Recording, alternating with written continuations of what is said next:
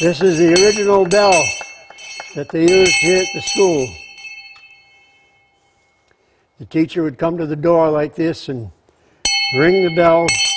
All the kids would come running in from everywhere because I know they used to play all over the place. Yeah, my name's Don Whitney. Uh, my family lived up the road uh, starting in 18, about 1800, so all of my ancestors went to this school.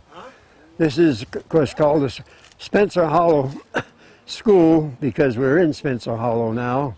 And the, uh, the only written record that we've been able to find of, as to when this school was built was in the booklet, in the book that was called the Folklore Springfield, published in 1922, that says this school was built in 1781.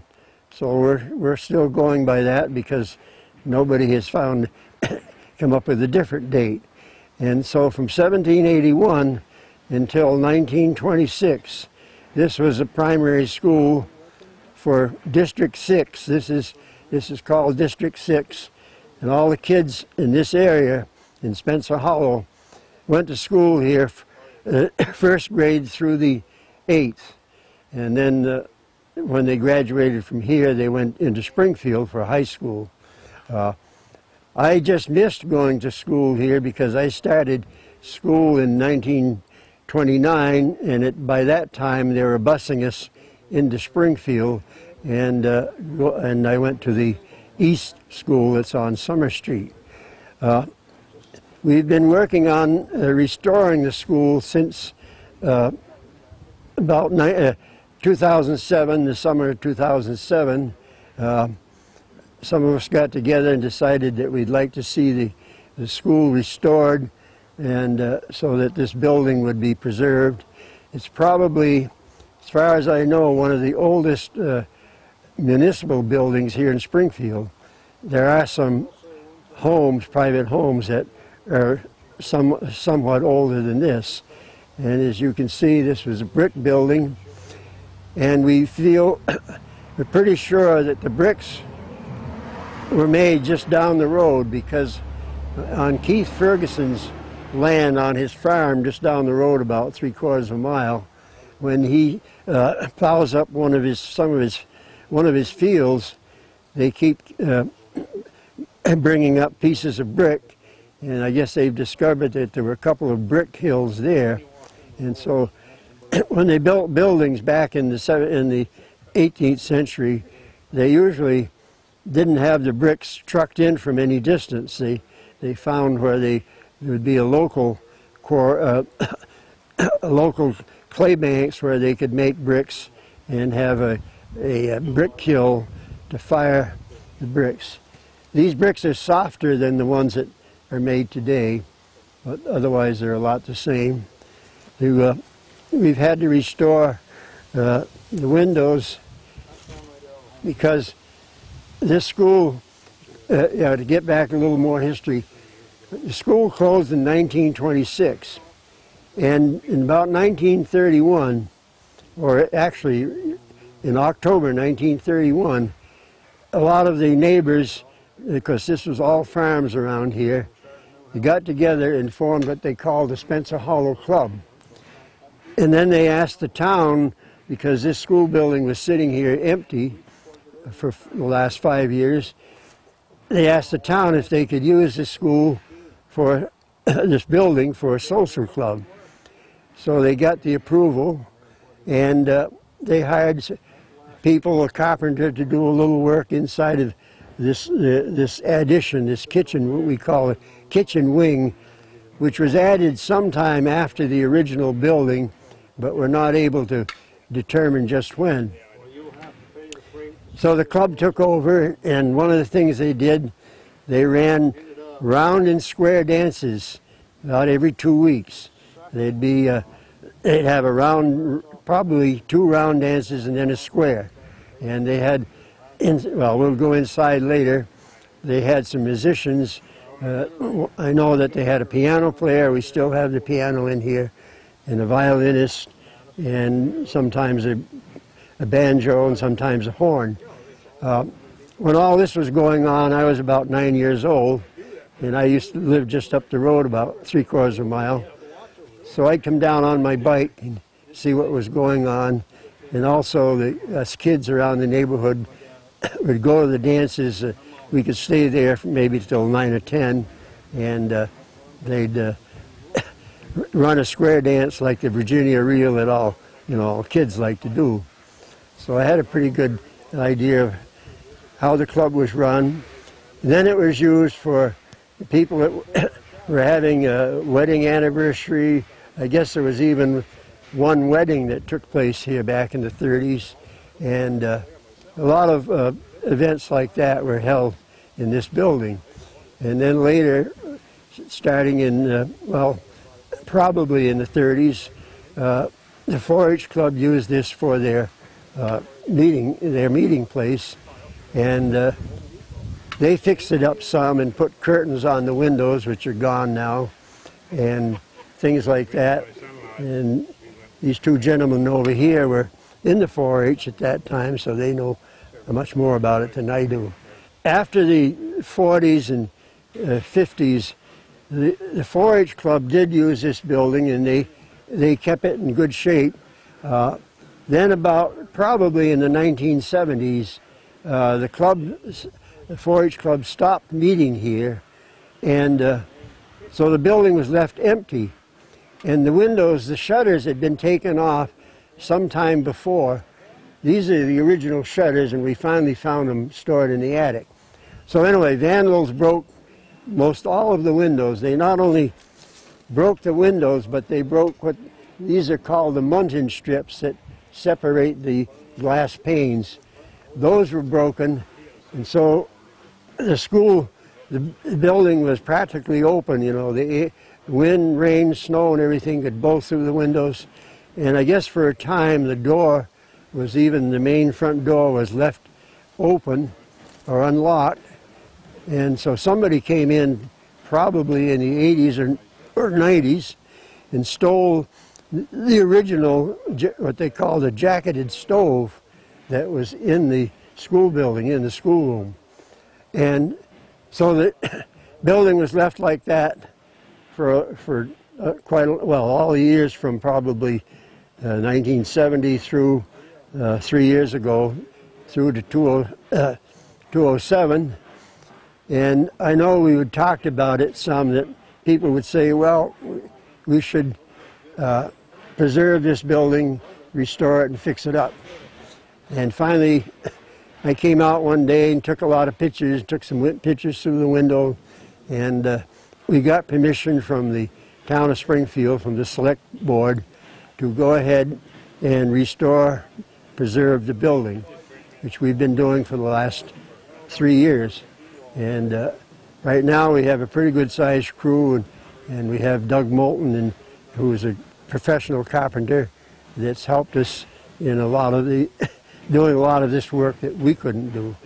And big thing about having the shutters, see, when we leave the building empty, we shut the shutters and that prevent uh, vandals from re-breaking the windows because we didn't really dare put the windows back in until we had some protection. Let's go inside and see what's going on in there. We've uh, just finished uh, restoring most of the ceiling and I can show you what happened.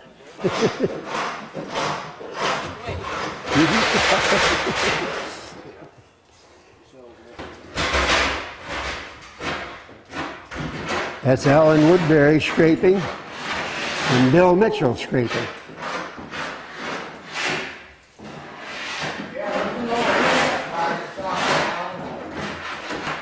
I believe that's the same piano that they had here when they were running the dances.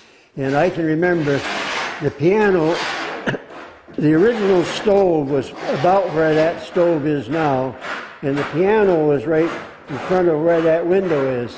And I can remember they had a man, a musician from Springfield who played in local dances.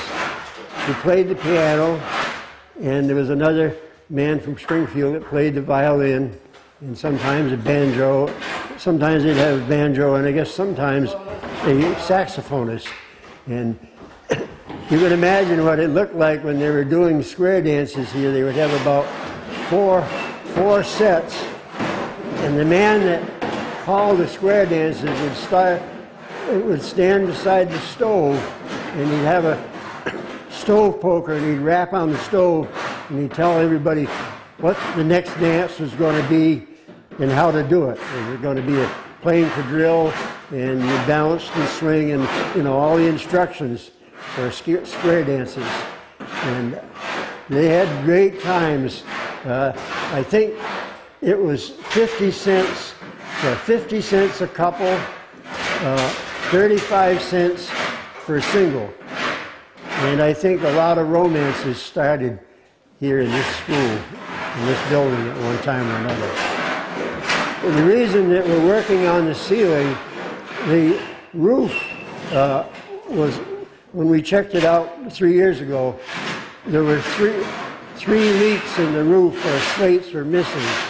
And one right in that area and one in that area. And you can see we've replaced these ceiling boards and uh, because the roof leaked, it, it, started chipping off from the paint. So now we're going to yeah, scrape. Varnish and then it's got kind of a cream colored paint. Yeah, probably had Yeah, several yeah. coats. Lime white paint. Yeah, Do you think the original was a varnish? yeah, I picked it up down It uh, could be because you know this this was a chestnut, you know, these original boards were chestnut and it has a you know a beautiful grain. Yeah. And it would Yeah. be it would be uh, And then uh, under under the first or over the varnish is this uh, so-called paint with the limeish color, where you got this. Oh, yeah. Lime white. yeah. you don't want to bring this down to the varnish again, do you? No, We're gonna okay. paint it, we're not gonna varnish it? No, we'll just we'll just scrape and the loose paint and then Yeah. sand it to kind of blend it in and then prime it and uh, and then paint. And I'm trying to th- think what color. We'll probably try to match the color that's on there now, Yeah. close as possible. Yeah, kind of off white. And actually, this stuff over in here where you place the boards on, The, uh, the ceiling structure is pretty good because when we had these boards off, we could see that the stringers or the ceiling uh, joists go that way. They have to be 24 feet long to go all the way across the room, but they're good rugged beams, four by six, 20 inches on center, which is kind of unusual. Then these boards are nailed to uh, strapping that goes in that direction. So the, uh, the roof structure or the ceiling structure is in, in good shape. looks pretty good. It should paint very nicely. Be quiet. Yeah,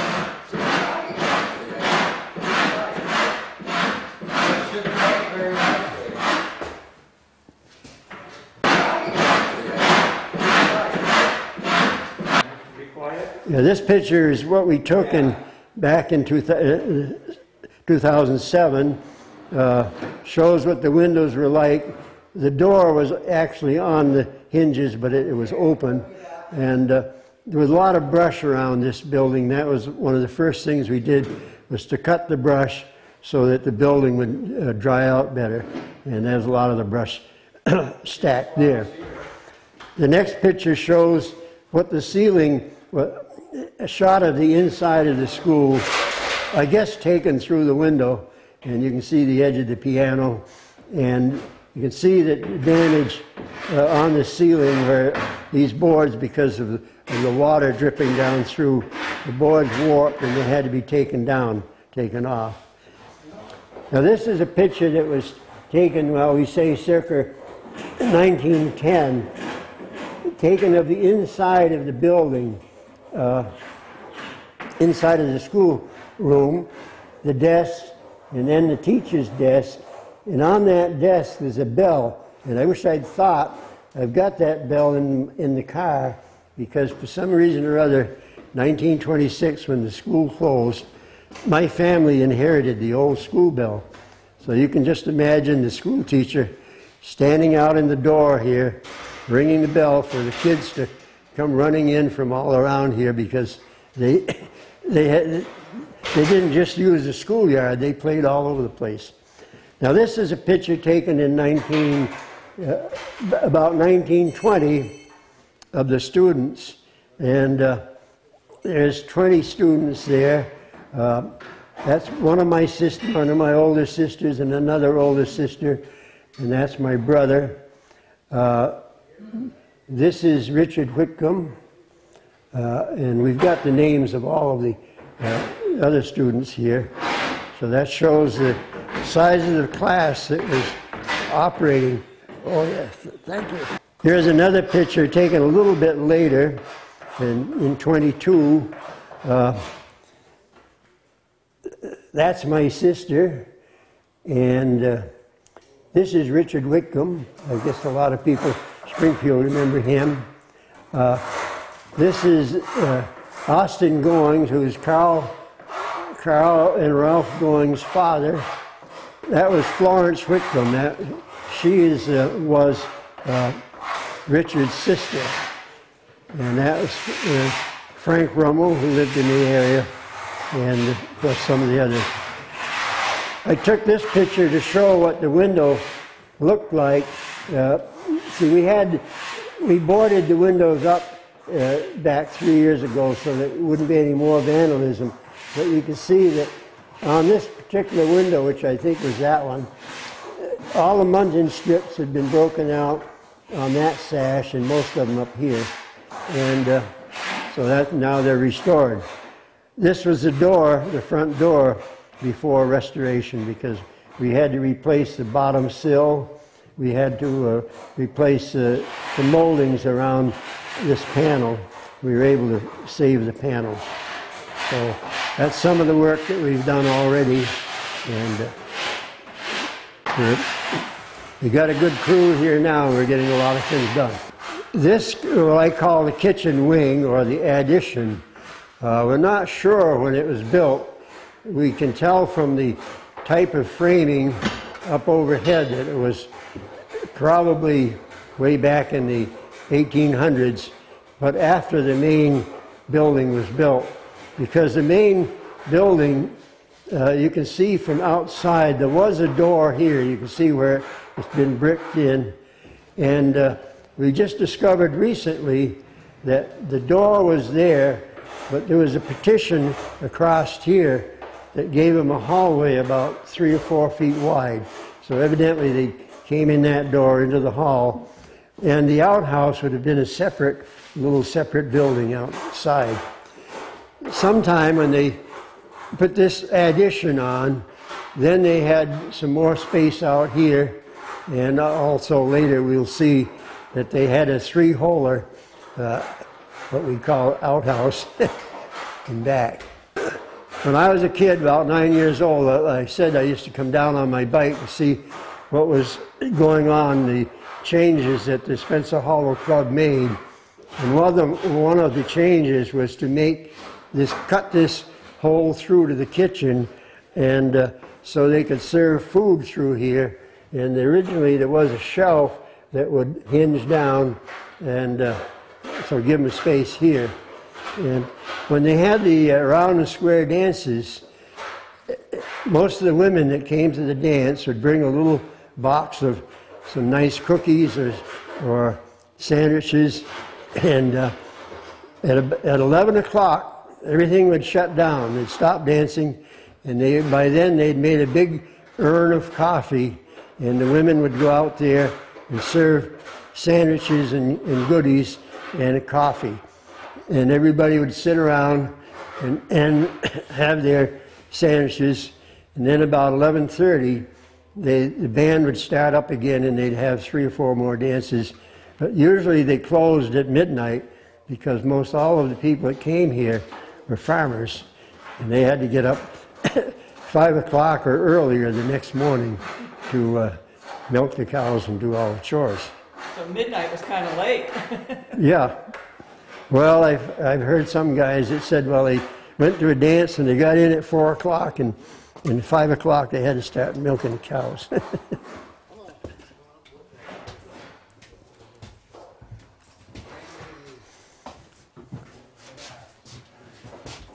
this stove, we don't really know where it came from, but sometime when the, the 4-H Club was using this, somebody donated this stove, and it's a real nice one because it was combination wood and gas.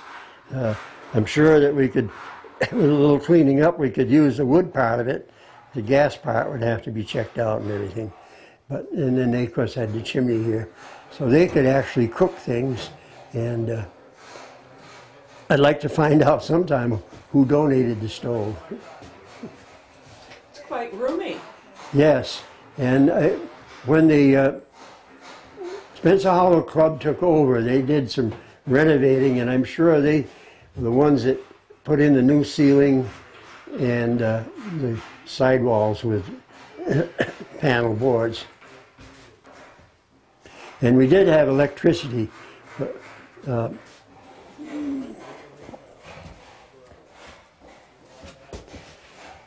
See, in about 1930, uh, this whole area was electrified. Before that, we didn't have any.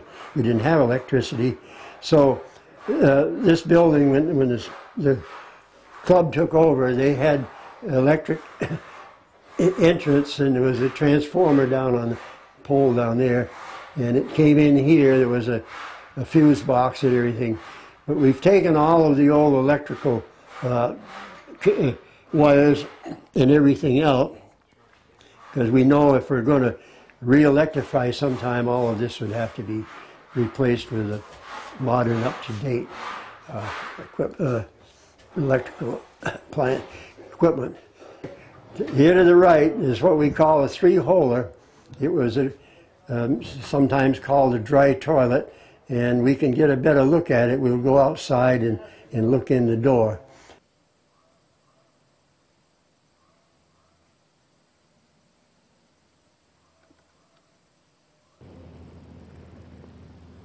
The reason uh, Spencer Hollow is called Spencer Hollow because it, it was settled by three Spencer men that, that uh, bought the land in Spencer Hollow and had farms.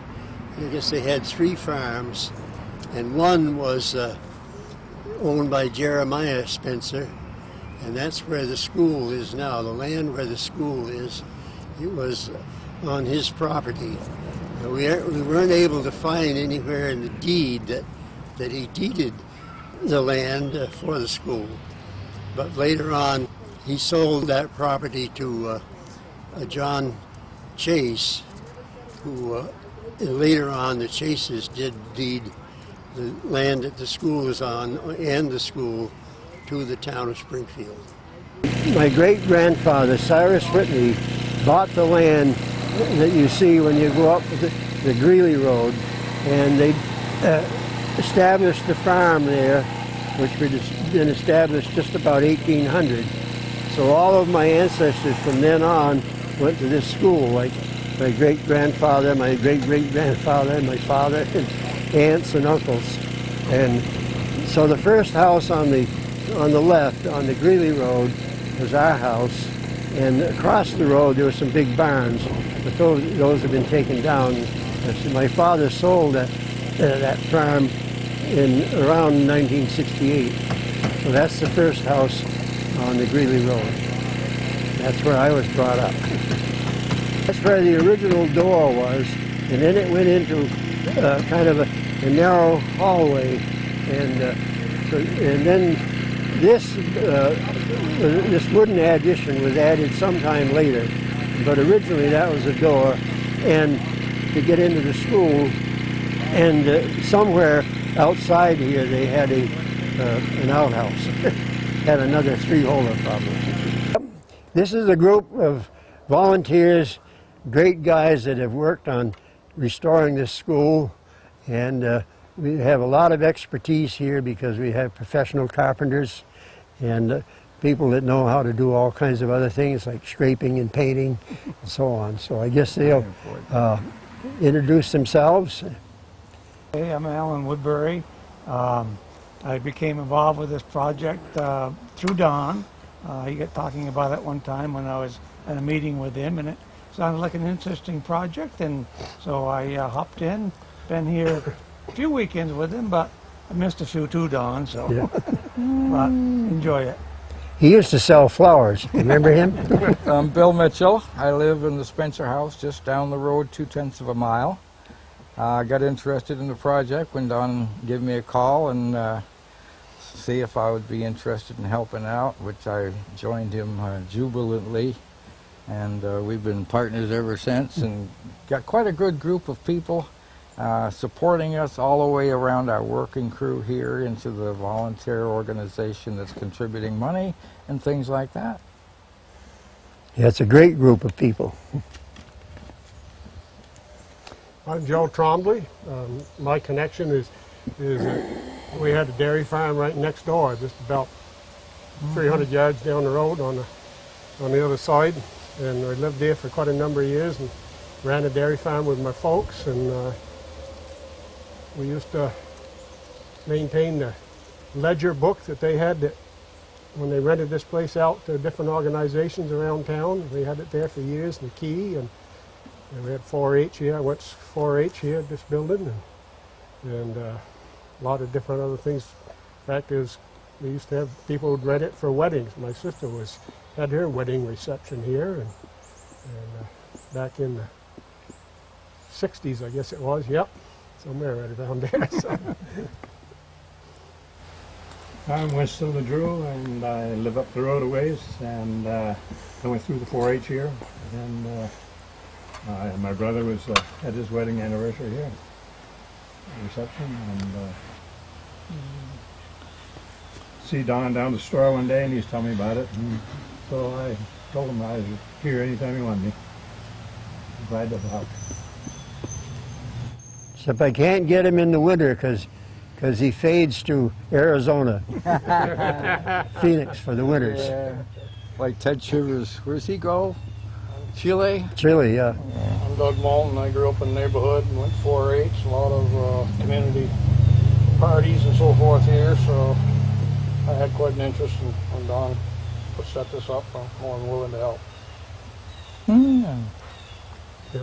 We're gonna have a party pretty quick. Uh, Don was the one that I got hooked up through it too because I read in the paper that he was trying to get information on the school, and so I give him a call. I happened to be out of work at that point in time. I was had been laid up for a while, so worked out good. I helped him a little bit when they got first organized. And now I'm retired, so I get back into it again. Yeah, he helped me a lot because we, first thing we did was cut all the brush around here, and it was quite a mess. Also a big mess inside. Uh, Joe was the first guy that volunteered. Susie's been a big help, Don, too. Right, yeah, I should mention that, uh, uh, not John, but Tom. Tom Susie, and uh, sometimes it takes me a while to, to dig out names out of this old head, but yeah, he, uh, he has a little sawmill down the road about a mile or two, and and uh, he volunteered to furnish uh, any of the timber lumber that we need, and he has a lot of dry. He's got a lot of dry uh, two by fours and and dry pine, and we've used his uh, his lumber. The wood that we used for replacing the ceiling came from him, and uh, we we had to put on a new fascia board around the back on back side of this building. He furnished the, the uh, boards for it, and so that's been a big help. Saved us a lot of money that we don't have to go out and buy uh, boards and timber. Since we're recognizing some uh, important contributions, uh, I'd like to uh, mention Mark Bushway put five Right. yard of gravel or sand, rather loam type stuff. Topsoil. well, it was topsoil and allowed us to fill in some holes, grade the backyard.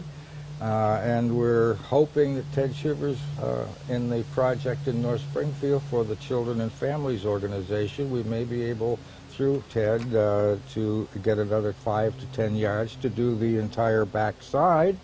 So we're a little bit waiting on that, and uh, we've pulled out all the old electrics, so we're ready to start looking at Central Vermont for power. Uh, we used to have power, and it disappeared. A little, probably a rabid coon got it, you suppose. and uh, Of course, Lou Baldwin's is now back in the electrical business with HB, and he's part of our organization of support people. So we'll be talking with him a little bit about electrics later on. Meanwhile, we'll just do the, the work that's necessary to get it ready for painting, get the sub structure firm and secure, and go on. Keep just keep plugging along at it. It takes money to do what we're doing, and right now we're making out an application for a grant to finish up uh, stabilizing the roof. It, it needs new, some new slates and some new roof boards, and uh, so we can get a matching grant to do that, but we have to have the money to match. So that we're very open to anybody that would like to contribute to the preservation of the school. They can do so very easily by making their check to the town of Springfield, but down in the memo on the uh, check, uh, right in there for the preservation of the spring of the Spencer Hollow School, Yep. and uh, they'll put it into uh, Jeff Mobus, the treasurer, who- puts that money into a, a separate account, and so we keep track of it, and of course we'll use it for uh, matching matching funds. And when we get into doing brickwork, it's going to be much more expensive. This building needs a lot of, probably thirty or forty thousand dollars worth of brickwork. So we'll need more donations, and hopefully we can get some grants that uh, won't have to be matching. Now the other thing I should mention that right now we're having it's being done by a professional. They're writing up the application to make this and uh, put this on the national uh, list of historic places, and uh, the uh, this person started on it last spring, so I expect to be we expect to be hearing from her maybe uh, before very long as to whether she's got this uh, all together, because it's to to apply for this uh, national historic place. It's very demanding because there's 60 pages of instructions just how to do it. And when I when we looked at that, we said, and we were advised that you better get professional help to have it done, to do it, to make sure it's right. And uh, we know that if we do get that designation, and we're pretty sure we should be able to, that there'll be more money available. I think it'll be the first place in Springfield with the uh, National Historic designation. We'd also got, uh, want to thank Dick Moore for the wood stove that we have in here, and we've asked Kim Porter to do some of the brickwork, uh, make the chimney safe and align it. So we're looking on a quotation from Kim. All kinds of people in the, involved. Now, there are two more people that I want to be sure, and I don't know whether I had mentioned this Gurney the before. Yeah. Uh, see, the roof uh, leaked, and they've made temporary uh, fixes on the roof so it doesn't leak now. And the first uh, work was done by Ted Shivers in uh, All Seasons Construction. He had a couple of men come out and uh, put the metal plating up and under some of the the slates that were missing. And then the uh, metal ridge strip along the top of the ridge here, that was also missing. So Don Gurney sent some of his men out last fall and replaced the ridge cap. And so now we don't have, the the roof doesn't leak, so we're able to finish uh, painting and uh, finish the ceiling and paint and, and do all that without having to worry about water damage. Mm. Well, good luck with your efforts. Springfield really is proud of their heritage, mm. and they should be. You should find that they really do support your historic mm. efforts. Mm-hmm. Well, I felt when I first came out and looked at this school, of course I knew about it forever, I said if we don't do something now, in another 10, 15, or 20 years, the building's going to start falling down. And everybody, everybody will say then, oh, gee, we should have done something. We should have preserved it. Yeah. But by then it would be too late. One person we neg- neglected to mention when you were filming us, uh, a man by the name of Doug, Doug George, who lives right across from the school up that little driveway. Uh, his house is, would, you could see his house if the trees weren't there. But anyway, about five or six years ago, he realized that the door of the school was left open and that allowed vandals to come in and it allowed somebody to steal the original stove. So he had the forethought to uh, nail some board, a couple boards across the door, so it kept vandals out. And then later, when we did start working on the school and restoring it, uh, there were three big old rotten stumps in the schoolyard, and he came down with his tractor and backhoe and took those stumps out, and then also quite a few smaller stumps from some of the brush that, grew there. And that was a big help to our, project. We'd like to also uh, let folks know that anyone who has an uh, ancestor that attended school or knows of people who did or knows of any of the teaching staff that used to be here, we'd like to hear from you. You can call Don or myself, uh, 885-5068 for me. And Don, what's your number? 886 2863. So you have contact. I'll give you our- uh, our card. Our hope that we can learn some of the ancestries and where they went from the time they were here. I already have quite a lot of history, as much as we've been able to find about the teachers that taught here. We have a list of the students that were went here in 1823. I have the name of a man that taught here sometime before 1821, and we have a listing that was made by Hugh Kendall's great grandmother who taught here in about 1878 and 80, and we have a copy of her uh, ledger book where she kept records of all the students. And she had beautiful handwriting.